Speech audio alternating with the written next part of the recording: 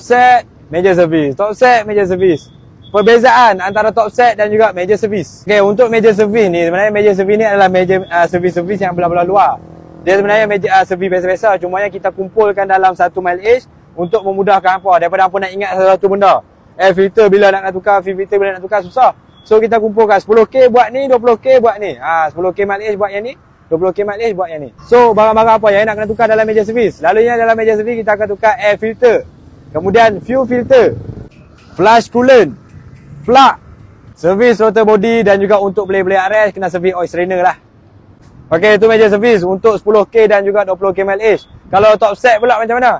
Untuk servis top set, kita akan servis bahagian blok eh blok dan juga head. Ah ha, kayaknya bahagian atas lah. Ini bahagian enjin, top set tu bahagian atas. Blok dan head kita akan buka, kita akan cuci karbon-karbon tu, karbon pembakaran. Bila apa ada pembakaran ni dia akan karbon, dia ada karbon, menghasilkan karbon dia akan melekat dekat part-part motor. Ha, itu yang buat motor apa loss power, pick up kurang, lepas tu lemau apa semua tu segala tu boleh disebabkan top set jugalah.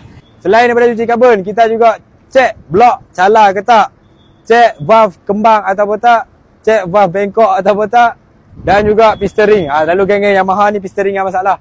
Lepas tu ada benda-benda lain kita cek alam muka kita tengok ah kalau rosak kita tukar. Selalunya kita rekomenkan buat servis top set lepas 30k mile age. So 60k, 90k ah tapi 90k apalah jaklah 100k overhaul.